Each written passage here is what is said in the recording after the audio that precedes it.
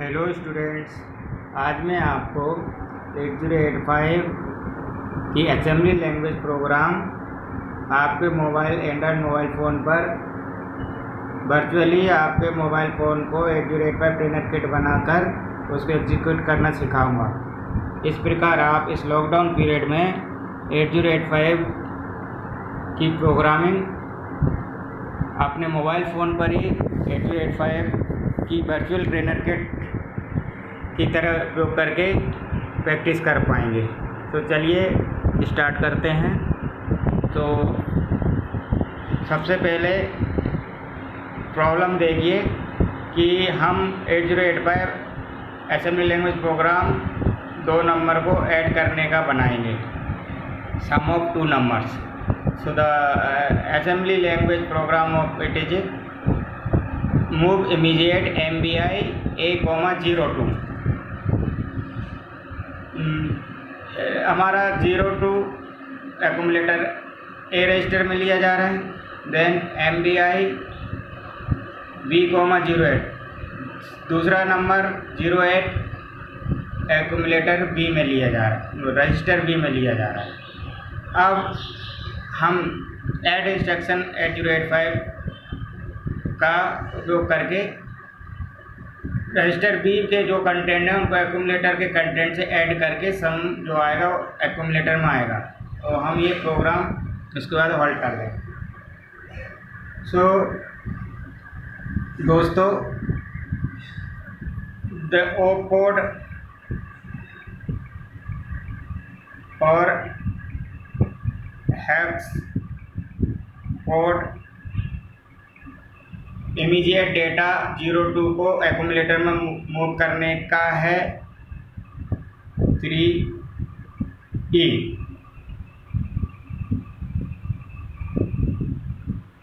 इसी प्रकार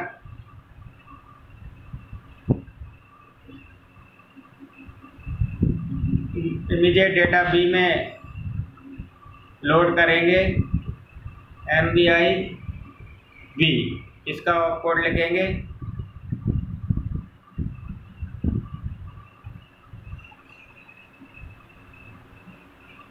तो इस प्रकार से हम ये ऑफ़ कोड उसमें जाएँगे। अब मान लीजिए आपको ऑफ़ कोड पता नहीं है तो हम वर्चुअल ट्रेनर किट में ऑफ़ कोड भी सर्च कर सकते हैं। तो ये हमारा मान लीजिए असेंबली लैंग्वेज प्रोग्राम है। तो इसका हम आपके कैसे मोबाइल फ़ोन को एरी एट ज़ीरो एट फाइव की तरह ट्रेनर किट की तरह आप उपयोग कर सकते हैं, उसके लिए आपको ये eight zero eight five simulator eighty five जो लिखा हुआ है। ये ऐप गूगल प्ले स्टोर से डाउनलोड कर के इंस्टॉल करना है। अब इसको ऑन करना है। ये आपका एट फाइव सिमुलेटर किट है। ये आपने अगर कभी भी आप माइक्रो प्रोसेसर की लैब में काम किया होगा तो आपको वहाँ पर जो ट्रेनर किट होती हैं, उनमें हेक्सा नंबर इनपुट करने के लिए कीपैड होता है। तो ये हमारा हेक्सा नंबर इनपुट करने का कीपैड है। और मेमोरी एड्रेस जहाँ पर प्रोग्राम स्टोर किया जाता है, उसका एड्रेस फ़ीड करने के लिए ये बटन सब सब्सिट्यूट मेमोरी लोकेशन पर डेटा लिखने की ये है एग्ज़ाम रजिस्टर ये सब्सिट्यूट यहाँ आपको मेमोरी एड्रेस डालना पड़ेगा टू थाउज़ेंड इस तरीके से आप ये जो टू थाउज़ेंड ये एड्रेस फ़ील्ड है और ए टू ये डेटा फ़ील्ड है तो इस एड्रेस पे क्या डेटा लिखना है, इस तरीके से आप कर सकते हो by pressing next button so it operates similar to this. This. So, in 2000 हमको थ्री ई लिखना है तो ये हमने थ्री ई लिखा। नेक्स्ट इमीडिएट डाटा जो एकुमुलेटर मूव करना है ज़ीरो टू तो ये zero two next accumulator B में डेटा मूव करना है। तो उसके लिए आप मान लीजिए ऑफ़ कोड देखना हमको। तो हम जाएँगे जी इंस्ट्रक्शन पर और हम हमारा इंस्ट्रक्शन लिखेंगे एम बी आई बी तो हमको ये ज़ीरो सिक्स ये हमको उसका ऑफ़ कोड मिल गया है। अभी ऑफ़ कोड हम उसमें फ़ीड करेंगे।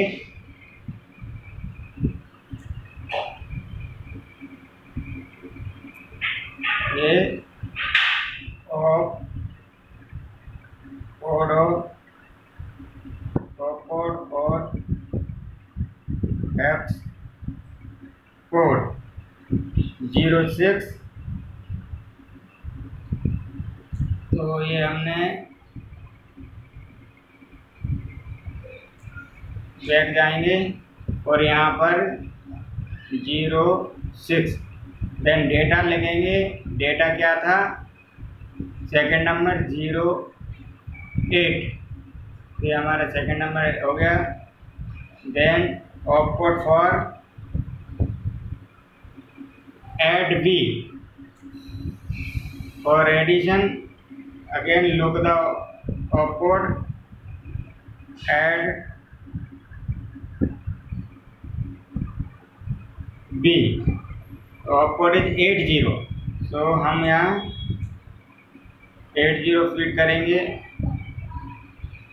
Eight zero then opcode for hold तो that is seventy six you can search it on a instruction में so this is I check दॉकोर्ट्स we fat from that is three that is opcode for moving a immediate data into accumulator तो M B I A instruction का जो of code है and data कौन सा move कर रहे हैं हम? Zero two then M B I B ये ऑपकोड है ज़ीरो सिक्स और उसमें डेटा कौन सा मूव कर रहे हैं? Zero eight then add B opcode है एट ज़ीरो और ये ये इंस्ट्रक्शन एट ज़ीरो से क्या होगा? आपका जो भी एकोमुलेटर के कंटेंट हैं, वो बी में जो कंटेंट है ऐड होकर रिज़ल्ट किसमें रहेगा? एकोमुलेटर में. और ये हॉल्ट इंस्ट्रक्शन है एच एल टी जिसका ऑफ़ कोड है हॉल्ट का ऑफ़ कोड हम देख लेते हैं। फ़ीड करा था, ये फ़ीड नहीं हुआ हॉल्ट का तो हमने हॉल्ट का ये फ़ीड कर दिया। ये नो ऑपरेशन कह, भी कह सकते हैं इसको एनओपी ये। अब ये इस तरीके से आपके ऑपकोड सारे फ़ीड हो चुके हैं। फ्रॉम एड्रेस 2000 मेमोरी एड्रेस 2000 से कंजिक्यूटिवली ये आपके opcode up to the 2005 address तक। तो हमारा ये इंस्ट्रक्शन सेट हो गया प्रोग्राम इस virtual eight zero eight five ten eight में अब हमको इस प्रोग्राम को एग्जीक्यूट करना है।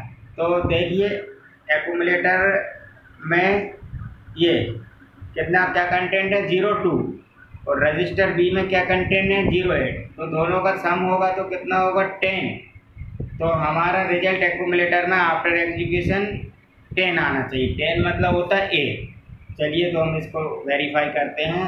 तो प्रोग्राम को एग्जीक्यूट करने के लिए रीसेट पर जाइए। अब आपकी किट रीसेट है बट आपका प्रोग्राम इसमें इंसर्ट है। अब आपको गो पे जाना है। गो किस मेमोरी एड्रेस पर आपका प्रोग्राम स्टोर है? कहाँ से एग्जीक्यूशन करना है? वो एड्रेस फिट करना है तो two thousand two thousand and then press the execute button press देखिए, आपका इस इंडिकेट करता है कि योर प्रोग्राम एग्जीक्यूटेड सक्सेसफुली अगर यहाँ पे ई आर आर होता तो आपके प्रोग्राम में कहीं भी एरर होती तो ई आर आर आता। यहाँ पर ई लिखा है इट मीन सक्सेसफुली एग्जीक्यूटेड ये देखिए, यहाँ पर आपका लिखा भी है सक्सेसफुली एग्जीक्यूटेड अब हमको चेक करना है कि हमारा रिज़ल्ट सही है कि नहीं एकुमुलेटर में ए आया है या नहीं। तो ये बता रहा है समरी है after last execution of program memory 2000 हमारा प्रोग्राम किस मेमोरी पर सर 2000 पर। तो ये बता रहा है कि कौन कौन से फ्लैग अफेक्टेड होते हैं। तो क्योंकि कैरी अगर जनरेट होती है तो ये कैरी फ्लैग होते हैं S Z A C P I अगर ये कोई अफेक्ट होता तो ये बताता। कोई अफेक्ट नहीं हुआ तो सारे दिखा रहा। कौन से रजिस्टर यूज़ हुए हैं? रजिस्टर ए और बी बता रहा है।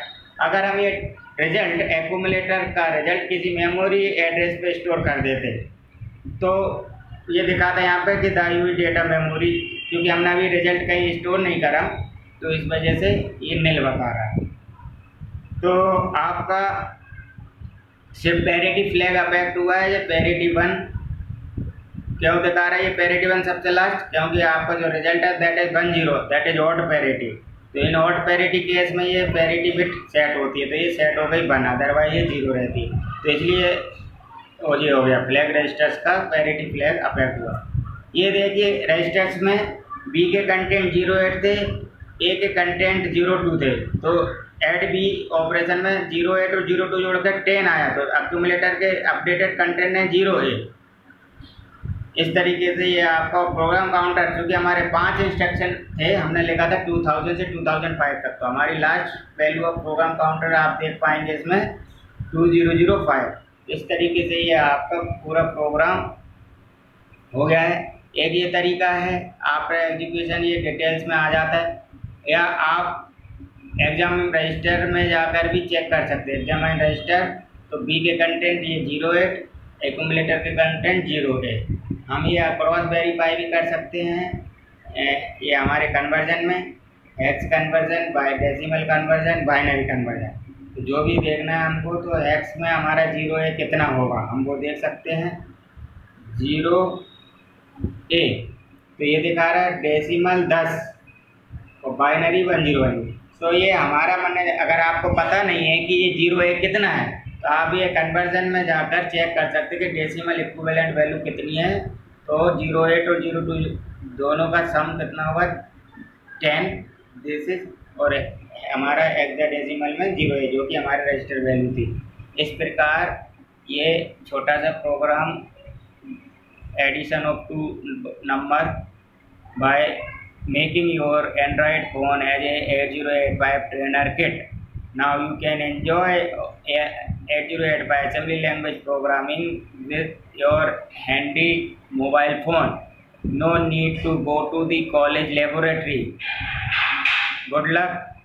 Enjoy the lockdown period and enhance your programming skill.